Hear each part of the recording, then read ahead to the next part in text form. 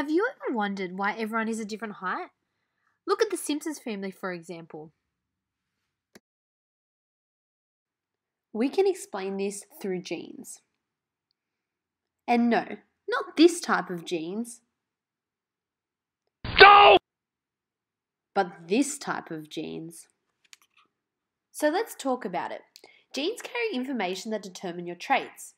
These are things like your eye color, your hair color, and how tall you are. Think of them like a little car that carries all the parts of you that make you who you are.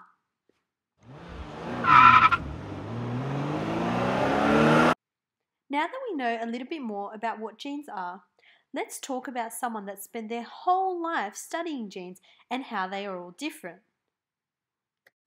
This is a well renowned scientist by the name of Barbara McClintock. Barbara was born on the 16th of June 1902 and passed away aged 90 on the 2nd of September 1992.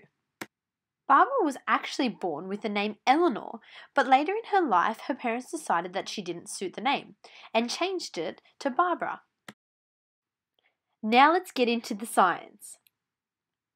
Does anyone know what it was that Barbara did to make her so famous? Barbara began her career as a leader in the research into maize cytogenetics. Sounds scary, doesn't it? But what is maize cytogenetics? Maize actually means corn. Yep, like the corn you eat at home. And cytogenetics is the study of genes and chromosomes, just like we talked about before. So, together, do you know what this means? Maize cytogenetics is the study of corn's genes and chromosomes.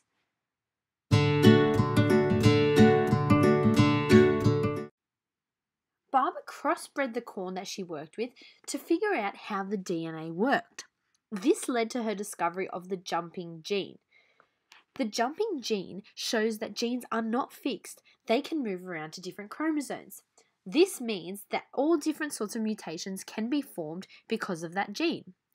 We can see this in the picture how she has one corn with different colours on it. This is because of the jumping gene. Let's recap for a second now. Does anyone remember what maize cytogenetics actually was? Yes, that's right, the study of genes and chromosomes of corn. What did Barbara show us that happens to corn when it encounters the jumping gene? Yes, that's correct too. The colour of the corn kernels change. This is due to the gene mutation.